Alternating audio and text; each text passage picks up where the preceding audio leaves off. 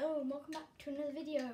Um, today it will be um, King of the Racetrack Tournament 3 qualifying race 11. 3, 2, 1, go. These are all cars. This is the final race like that, I believe, yeah. Um, so anyway, the points are currently 5, 3, 2, 1. Now the Aston Martin and the Mini didn't look too fast. They seem to be the Speedtail and the Triumph with all the speed there.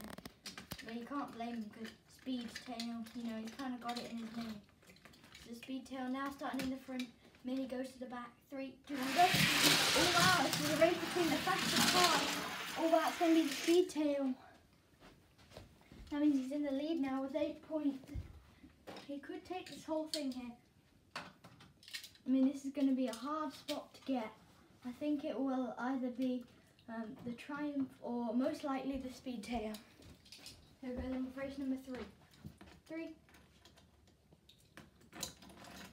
two, one, go. And Speedtail in the lead. Look at that. 13 points for the Speed Tail. It is all over. The Speed Tail's taken this. Because if you remember, in King of the Racetrack, only one car advances on from the qualifying races. Yeah, the Speedtail's got this. He's going to the back for this last one, so um, I don't know. He might take it, he might not. The most he could get is 18, which is a pretty impressive score. Three, two, one, go. We're going. Oh, on the lead, here comes the Speedtail. Oh, it's a complete DNF now. We're not going to do it then.